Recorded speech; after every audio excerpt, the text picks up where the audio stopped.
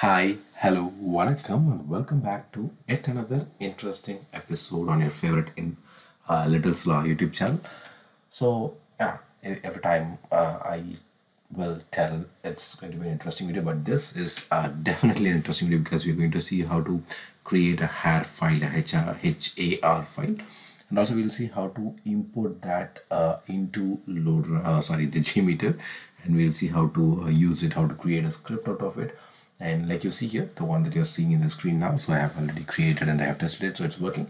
But i'll show you how to create that how to uh, first I, how to uh, uh, create a HAR file and then how to export it into uh, JMeter and how to create that as a script. Because like we all know and this is again one of the requests which has been asked in our whatsapp um, channel. Yeah yes. So i just want to mention yeah we are running a whatsapp channel and most of you know. Because like we have more than 400 plus subscribers uh, who are part of the uh, uh, whatsapp channel and they are like helping each others and even yeah i, I just spend some time to um, answer the questions share all the videos uh, which we create and share a lot of knowledge. So if you're interested please do join our whatsapp channel as well. And please don't forget to subscribe to our channel. Um, and we are having a load runner session this weekend. So if you're really interested please do enroll for that as well and coming back to this video like um, i've told you before so we're going to create a HAR file and we're going to first see what is a HAR file and we're going to create it.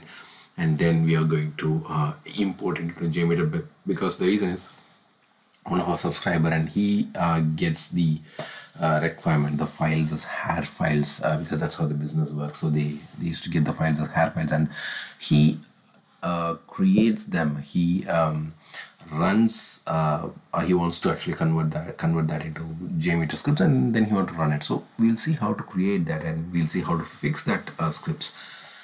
And yeah before we move on to this video um, please don't forget to subscribe to our channel. And coming back to this video first let's see what is a HAR file. So HAR HAR is the short form of HTTP archive format and that is used to track all the logging of a web browser's interaction with the site. And HAR files can be a requirement for troubleshooting issues uh, and specifically for problems such as performance and page rendering. And yeah we, we are doing it. So we are fixing the performance and page rendering. So that's why we're using uh, the HAR files. And uh, it's primarily used for identifying performance issues such as any bottlenecks or uh, slow loading timings or any page rendering problems. So how do we get a HAR file that's what we're going to see now. And for that let me open a browser. So here I have the browser. And let me open our favorite pet store. I'm going to enter the store. And yeah. So if I want to get the HAR file for this particular page what should I do? So click on this three uh, dot the ellipsis button. Go to the um, okay or else you can do this way. Like go to the uh, right click go to inspect and then go to the network tab and here by default the network the recording will start. So the next thing you have to do is like by default this preserve log and disable cache won't be enabled. So please do enable them. And then nothing else to do here for now. Refresh this page here. And you can see uh, the rec the request uh, will will start to get load. And you can see a lot of pages. You can see there are like 32 requests 265 kb transfer 262 kb resources. And next thing is uh, you can see there is a import HAR file and there is an export HAR file. It's a sanitized one. So just select the export sanitized. I'm in the download uh, page download section. So we'll just download petstore sorry petstore dot HAR so just make sure you're saving it um, as a HAR file HAR extension. So I'm just saving it. So the first step which is um, we have right clicked in the browser window. We selected inspect and uh, I clicked on the network tab in the uh, uh, panel that appears and then uh, I have started capturing the HTTP by, cl by clicking the reload button and then I have downloaded the HAR file I have named the file and then I have clicked the save button now the next part is we're going to generate the file in JMeter. So for that, go to tools and here at the bottom you can see there is a VDN at GitHub HAR converter tool. Click on the button and you get this pop-up window. And here the HAR to load, click on the browse, go to downloads and get the petstore.har. So I've got this file. Now the JMeter script out to write. So I'm going to write it as petstore.jmx. So make sure you're um, adding the JMX as the extension and record XML to write. So what if uh, if I want to write it as an XML, I can even do it. So I'm going to write the same one. It's going to be store.xml and then the external CSV file I don't have any CSV file to add so I'm just leaving it alone I don't uh, enter anything and then here uh, optional time that is between two URLs to create a new page I'm adding a 5000 milliseconds which is basically 5 seconds of response times and then the page start number usually uh, the partial recording so I'm going to uh, use 1 as the uh, page start number and then the sampler start number. I'm going to again use 1 underscore. Let me make it as like 1 or I'll make it as 0 1 0 1 here. And then the regular expression that matches for filter. So what are the URL that you want to enter? So in this scenario I'm going to enter uh, HTTPS um, thepetstore.com but still I'm just, I'm just excluding it they are optional so I'm not going to do that. Uh, I'm not going to add worry about the filter uh, include or exclude but yeah in, in our next videos we'll see how to do that. And then these are the optional buttons. So i'm going to add a pass between the transaction controller. So if there are like multiple transaction controllers then by default uh, we can create a pass. And then i'm going to i have unchecked the removing the cookie in the http header so by default that it gets true because uh, you add a cookie manager and then I'm going to remove the cache header in the HTTP request. Yes I'm going to remove it and then I'm going to add a view results tree to view the recording XML file created. But for now it won't get recorded. So you can even see that? I'm just unchecking that for now. And then the HAR was generated with the load runner web record and transaction names. No I have not done that.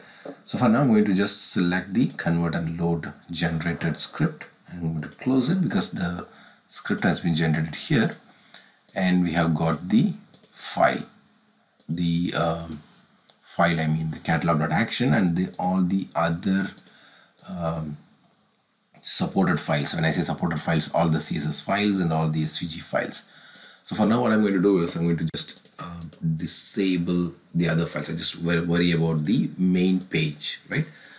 And then the next thing is I'm going to add a listener, which is the view results tree to make sure that whether my request is running fine or not. And apart from that, when I create this uh, script from HAR file, by default, all these gets created so you can see here v underscore scheme gets the https and the v host just the basically the host is petstore.octoperf.com and the port number as we all know it's 443 and then when it comes to the http request default so for any page i'm going to use https and it's going to be petstore.octoperf.com it's going to be a server name. So i'm just parameterizing that as part of uh, like using a user defined variables. And then i'm even giving the port number because anyways we all know it's going to be a 443 and then coming to the cookie manager I'm clearing the cookie for each iteration. And then the cache manager yes I'm clearing cache each, each for each iteration. And then I'm going to use the cache control expires header when processing get request so these are the things which by normally by default if you select those options you'll get this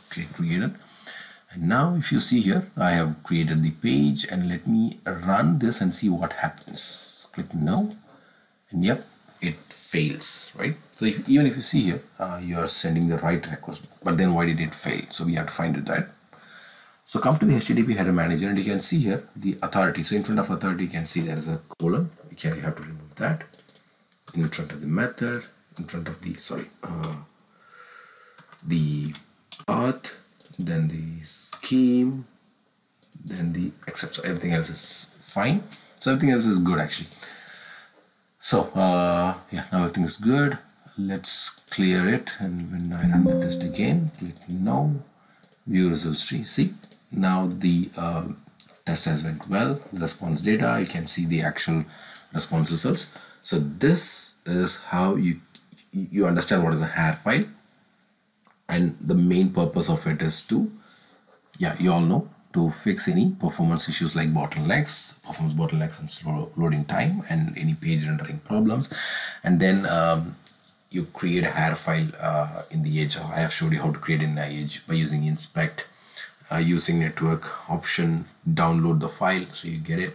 And then the next part is you are you have imported. I mean, I have imported the file into JMeter, and then I made some. Uh, I just fixed uh, the values in the HTTP header manager. So with that way, I have successfully created a JMeter script and this is how you can work and yeah um, again um, thank you so much for watching this entire video. And please thank me later uh, if you have any comments or any feedbacks please do please please do comment in the comment section if you have any feedbacks or questions. And uh, thank you so much for watching the entire video. So until i meet you in our next video it's bye bye from Shanmugam and your favorite Metals YouTube channel. Take care and bye bye